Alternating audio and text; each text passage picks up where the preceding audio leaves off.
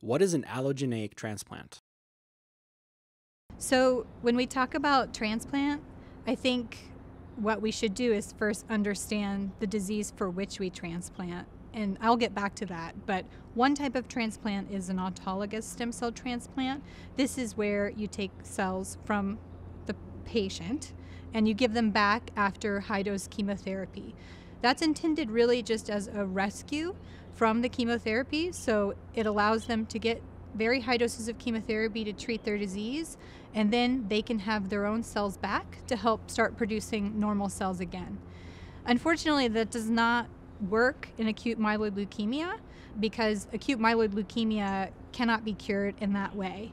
The leukemia is present within the stem cells and will just continue to be there.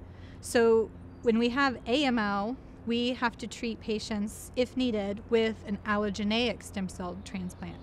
An allogeneic just essentially means from someone else. So the patient is the recipient, and we identify a donor for them to provide stem cells in order to do several different things. It goes beyond just rescuing the patient's bone marrow, it actually has immune surveillance and immune treatment features that we use to our advantage in acute myeloid leukemia.